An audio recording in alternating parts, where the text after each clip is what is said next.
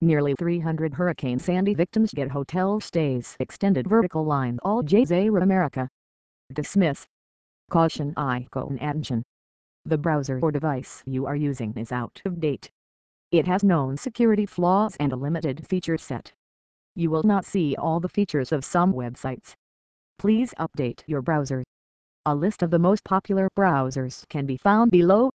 Mozilla Firefox Internet Explorer Google Chrome Safari Opera global header background image URL slash content slash dam slash jam slash images slash AJAM site header BG 9 10 13 to JPG at media minimum width 768 px and max width 959 px global header background image URL slash content slash jam slash JCR colon content slash header slash imageable dot adapt dot 960 dot high dot 1 trillion 380 billion 943 million 748 thousand 907 dot JPG at media max width 767 px dot global header background image URL slash content slash jam slash JCR colon content slash header slash mjmobile dot adapt dot 753 dot medium dot 1 trillion 380 billion 943 million 748 thousand 907 dot JPG.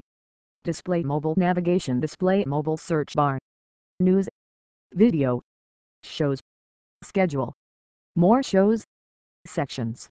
U.S international economy, technology, science, environment, health, education, culture, sports. Trending.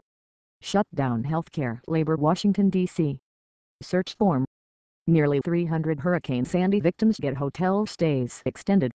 October 4, 2013 10:18 p.m. at Red Cross provides $1 million in funds after city ends program to house those displaced by storm topics. Hurricane Sandy, New York, U.S. View comments. In this April 25, 2013 photo, Raquel Rivera looks out a nearby window as her daughter Marisol Rivera, 7, reads a book, in their hotel room at a Holiday Inn Express in New York. Rivera had been living in the hotel with her daughter and fiancé for the last six months after losing a rental apartment in Brooklyn as a result of Hurricane Sandy. Tina Fineberg AP Many of the almost 300 New Yorkers displaced by Hurricane Sandy and still living in hotel rooms got a reprieve on Friday, when the Red Cross said it would put up $1 million to keep most of them in their hotel rooms. The city of New York had planned to evict the group on Friday, after funds from the Federal Emergency Management Agency ran out. City officials said they could no longer afford the rooms, which cost an average of $266 per night but as non-profit social service organizations scrambled to find alternative housing arrangements, the Red Cross said it would commit $1 million to extend the hotel stays of many of those families.